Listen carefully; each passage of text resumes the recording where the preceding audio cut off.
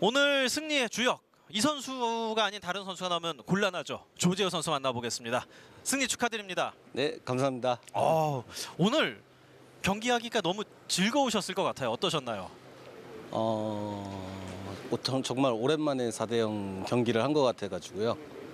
어, 좀 업이 좀 많이 됐습니다. 네, 이 경기를 하다가 물론 잘 풀리기도 하고 잘 안 풀리기도 하고 경기가 좀 꼬일 수도 있겠다 이런 생각이 드는 타이밍이 있을 수도 있을 것 같은데 오늘 2세트에서 네. 그 10연속 공타가 나왔을 때는 1세트의 분위기가 이어지지 않고 좀 가라앉는 느낌도 있으셨을 것 같은데 벤치에서는 따로 할 수 있는 게 없으니까 좀 초조할 수도 있지 않습니까? 그때 어떠셨는지 좀 궁금합니다.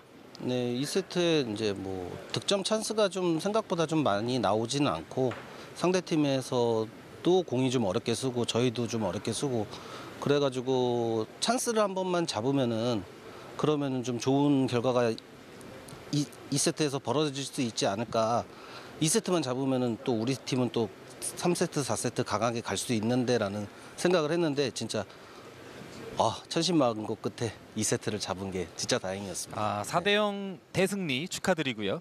네. 2세트에서 이제 김보미 선수가 그 마지막에 two bank shot을 시도를 했었잖아요. 네. 그때 이제 벤치 타임아웃 시간에 어떤 얘기를 나눴는지가 조금 궁금합니다. 아, 저는 이제 단 쿠션, 장 쿠션 해 가지고 길게 보는 쪽을 생각을 하고 있었는데, 어, 김범미 선수가 생각보다 키가 크더라고요. 네.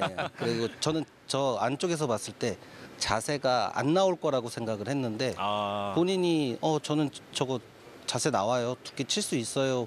그렇게 자신 있게 얘기하길래, 그럼 쳐! 하고 저는 들어왔죠. 아, 그랬군요. 네. 3세트 때 조재호 선수가 또 멋진 공을 하나 보여줬습니다. 끌어서 치는 옆돌리기를 보여줬었는데 네. 어, 이렇게 브릿지를 이렇게 오픈 브릿지를 사용하면서 끌어치는 뭐 이유라든지 혹은 이런 공에 대한 자신감이 있었는지 그런 부분이 굉장히 궁금합니다. 어, 저 공은 제가 좀 즐겨 치는 공이기는 한데, 아, 저 공이 그냥 큐 높이가 수평으로 유지하면 절대 저렇게 안 날라오거든요. 네, 그래가지고 라운드를 살짝 그려가지고 또 마세이성으로 끌어치는 쪽이기 때문에 근데 좀 즐겨 치는 공인데 좀 자신 이제 스타트이기도 하고 하니까 수비적으로 가지 말고 좀 자신 있게 가자 칠 수 있는 공이라고 생각을 해가지고 시도를 했는데 또 맞아줬네요. 네.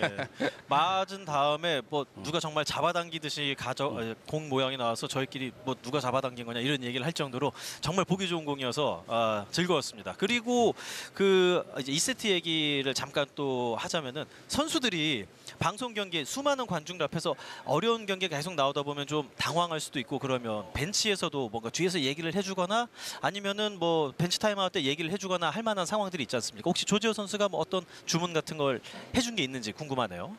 아무래도 이제 오늘처럼 이렇게 관중분들 많이 오셨을 때 시합을 하는 게 예. 저도 떨리는데 여자 선수들은 아마 좀 더 떨리겠죠. 그래서 이것도 사실 뭐 이겨내야 된다라고 얘기를 하는 거지만 경험치가 좀 많이 쌓이면 어 어후 음. 경험 네. 어유 어, 네. 경험치가 좀 많이 쌓이면 나중에는 조금 더 자신 있게 칠 수 있고 좀 신경 들 쓰고 칠 수 있으니까 꼭 오늘 이번 시합 때 꼭 해결하려고 안 했으면 좋겠어요. 시간이 지나면은 이제 이런 좋은 시합장에서 이렇게 시합을 하다 보면은 앞으로 다 좋아질 거라고 생각합니다. 네.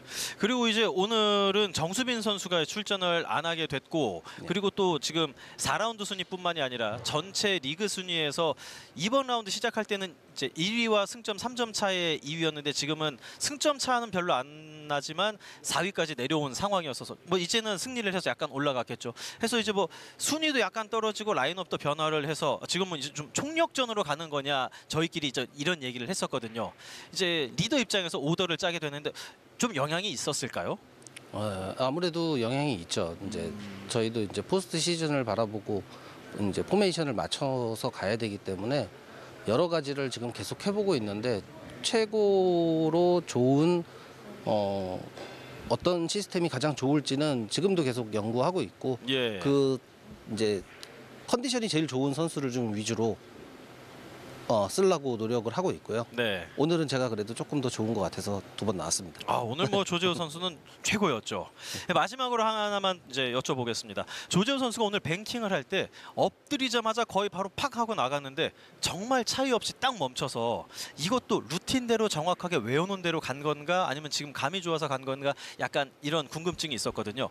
그 자신만의 루틴대로 갔다고 봐야 할까요?